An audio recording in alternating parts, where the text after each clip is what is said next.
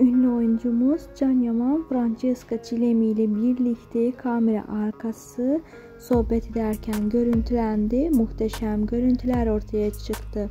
Herkes bu ikilini birbirine çok yakıştırdı ve her ikisi çok başarılı oyuncular.